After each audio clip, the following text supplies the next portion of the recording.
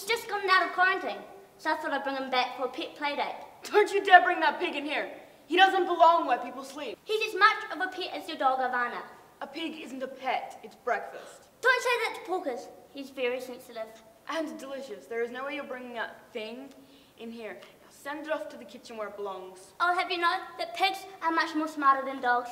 Oh yeah? Can Porkers tell the difference between a diamond and a cubic zirconium? I can't even do that. No wonder that pig seems smart to you. That's it! I challenge you to a competition. See whose pet is smarter. You're on, and losing pig has to swim home. Or the losing dog has to stay the night in the ship's kennel.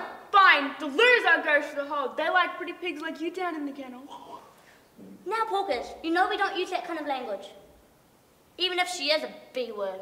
Yeah, I am beautiful.